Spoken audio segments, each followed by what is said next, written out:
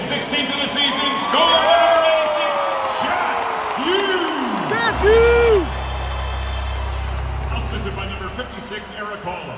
Time to go 48 seconds. That's Hughes, his 16th, from Haula at 48 seconds.